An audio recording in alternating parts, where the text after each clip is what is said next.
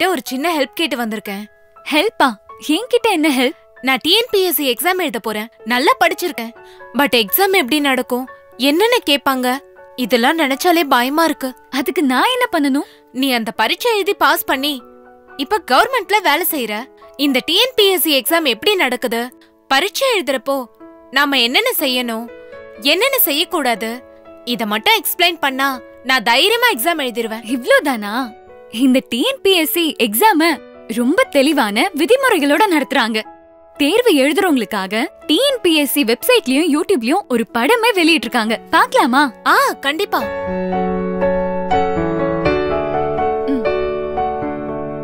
TNPSC தேர்வு எழுதுபவர்களுக்கான வழிமுறைகள். தேர்வர்கள் தேர்வு ஆரம்பிப்பதற்கு ஒரு மணி நேரத்திற்கு முன்னால அதாவது கண்டிப்பா காலையில ஒன்பது மணிக்கு தேர்வு மையத்துக்கு வந்துடணும். கொரோனா போன்ற நோய் தொற்று பரவும் காலகட்டங்களில் ஹேண்ட் சானிடைசர் முகக்கவசம் சமூக இடைவெளியை கடைபிடித்தல் அவசியம். தேர்வு எழுத வருபவர்கள் ஹேண்ட் சானிடைசரை அவசியம் கொண்டு வர வேண்டும்.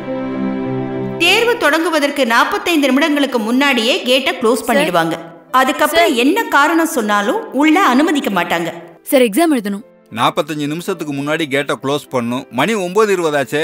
சாரி சார் லேட் ஆயிடுச்சு. நான் ஒன்றும் பண்ண முடியாதுமா. தேர்வாணைய உத்தரவுப்படி Please, தான். நடக்க முடியும். ரொம்ப முக்கியமான விஷயம் காயத்ரி. ஃபர்ஸ்ட் எல்லாம் பத்து மணிக்கு எக்ஸாம் ஹாலுக்கு போனா போதும். அப்படியே லேட் ஆனாலும் பத்தரை மணி வரைக்கும் அலோவ் பண்ணுவாங்க. ஆனா இப்பெல்லாம் அப்படி இல்ல. ஷார்ப்பா ஒன்பது மணிக்கே அங்க இருக்கணும். தேர்வு தொடங்குவதற்கு முப்பது நிமிடத்திற்கு முன்னாடியே தேர்வு மையத்தில் இருக்கிற டிஸ்ப்ளே போர்டில் உங்களோட ரிஜிஸ்டர் நம்பரை பார்த்து அந்த ஹாலுக்கு போகணும்.